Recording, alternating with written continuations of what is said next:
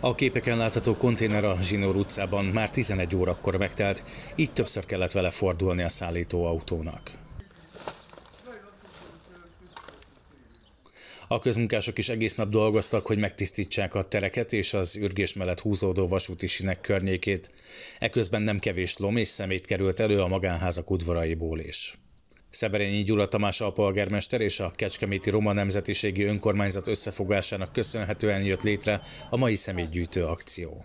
Felhívtuk az embereket, hogy hogy a, a hulladékot próbálják meg összeszedni a közterületről, magánterületről is, kicsit megkönnyítsük a, a, a szeméthelyzetet itt ezen a területen, mert itt, itt az egyik legnagyobb probléma. Az alpolgármester elmondta, több mint 700 szórólapot szórtak szét. A tájékoztatás sikeres volt, 12 konténernyi szemét gyűlt össze. Hozzátette, az igazi siker az lenne, hogyha ezt a ma kialakult tisztább állapotot meg tudnák tartani. A mai személygyűjtést 200 ezer forinttal a Roma Nemzetiségi Önkormányzat, 100 ezer forinttal pedig Szeberényi Gyula Tamás alpolgármester támogatta.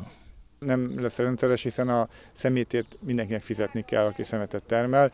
Ez egy egyszerű akció annak érdekében, hogy, hogy, hogy kicsit megkönnyebbüljünk a, a szeméttől. Nagyon sok mindent teszünk annak érdekében, hogy az illegális hulladék ne jelenjen meg a városrészre. Az elmúlt időszakban jelentősen nőtt a köztéri térfigyelő kamerák száma Kecskemét déli területein. Ez azonban önmagában kevés a sikerhez. A nemzetiségi önkormányzatot is bevonva a képviselők folyamatosan igyekeznek feltérképezni a problémás gócpontokat és a családokat, akik a szemét újrahasznosításából élnek.